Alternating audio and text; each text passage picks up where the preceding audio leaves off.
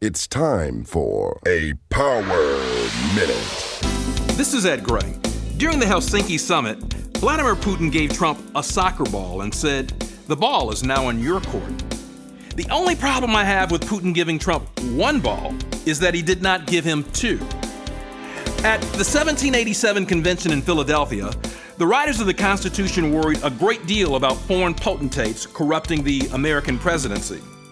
We still do not know what Putin has on Trump. The ball and Trump's performance were symbolic to the whole world that Putin has Trump by the balls, figuratively speaking.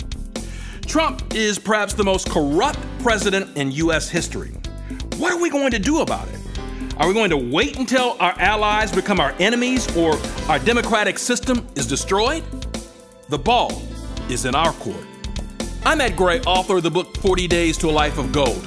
Elevate your thoughts